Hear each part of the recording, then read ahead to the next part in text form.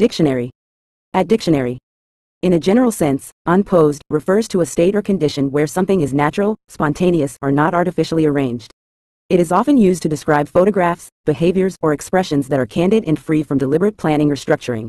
The term implies authenticity in the absence of pretense, capturing moments or actions as they genuinely occur rather than how they are staged or directed.